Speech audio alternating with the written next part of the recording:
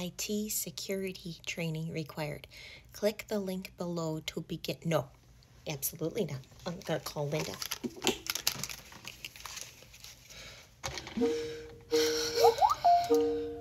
Linda, did you get the email about IT security training? Me too.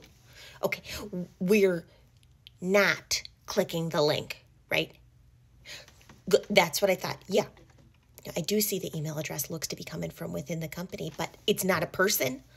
No, I don't know anybody named cybersecurity at LVM. I don't know if they just set it up.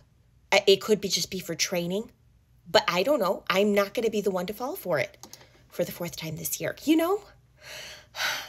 What? So, what should we do? Ignore the email. Good plan. Good plan. Yeah, if it's legit, they'll email again.